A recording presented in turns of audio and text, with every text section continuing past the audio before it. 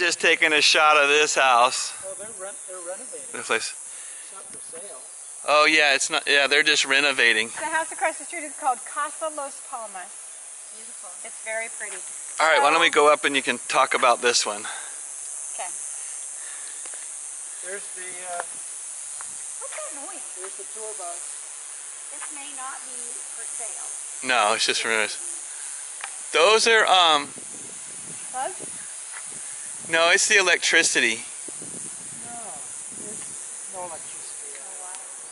You think it's like crickets up there? Um, Haynesville, Cottage. Takata. All right, all right. Start. Okay, so this is, or was, Dean Martin's home. He lived here with his second wife. And this house is only about five houses or so down the street. And her name was Jeannie or Jean or something like that. Yeah. This house is only about five houses down the street from Peter Lawford's house.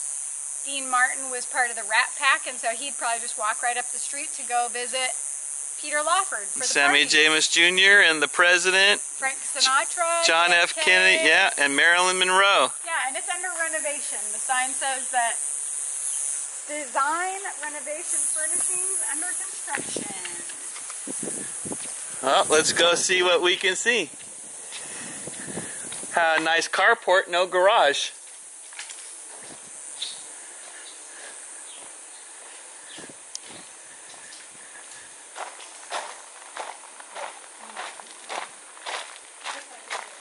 Oh yeah, you can kind of, you really can't see the pool, but you can see the pool tile, and the pool is empty. Yeah, that's what it looks like. Oh, you can see through the windows? Yeah, through the house, out to the back.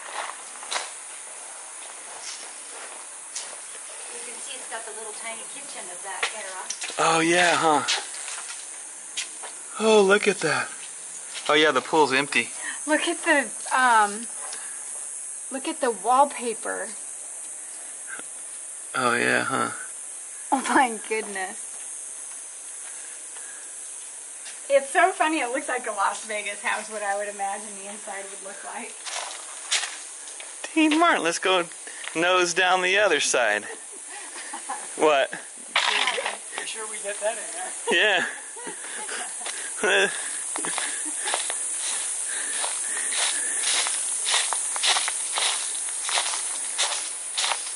Not much to see.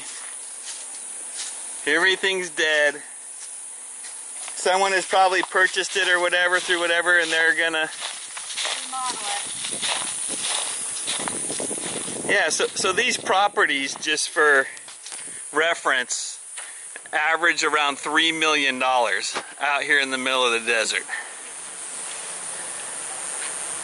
So you buy this place for $3 million and then who knows how much it takes to renovate it.